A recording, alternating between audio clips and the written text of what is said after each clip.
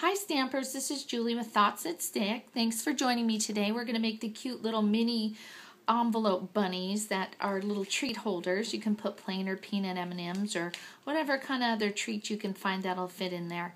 So we'll get started. What you'll need are the mini envelopes. They're 3 by 3 You can see them right here. What I've done is cut off the top, very top of them so that the little treat holders open as you can see. You're going to need to take your large oval punch, which is the extra large oval, and punch out ears. So you'll have the two pieces. I've already punched them for you. Use your adhesive to attach them. And what I've done is just attach them to the back side. I've turned it around so you can see what I'm doing here.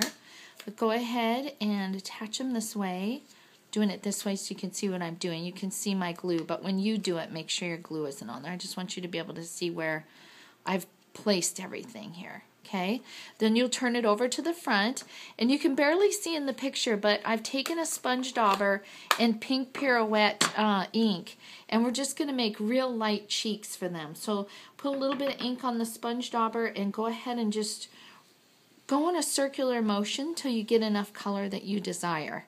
Doesn't take much. You can see just like that how it's done. Okay. Then you just take a pom-pom. You can use any size. I've chose to use the medium to large size. And use your glue dots and go ahead and attach it right in the center there. Okay.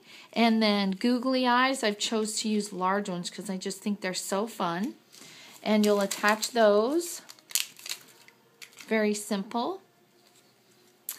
And then you can get your ribbons ready. I've used blue for the boy and yellow for the girl. And what I've done here is I've put the blue down below so that he looks like a boy with a little bow tie.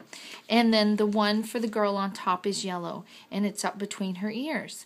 So you'll just finish it off by draw hand drawing the mouth and that's really they're all that's all there is to it. So thanks for stopping by. I hope you try to make these. They're so fun and easy.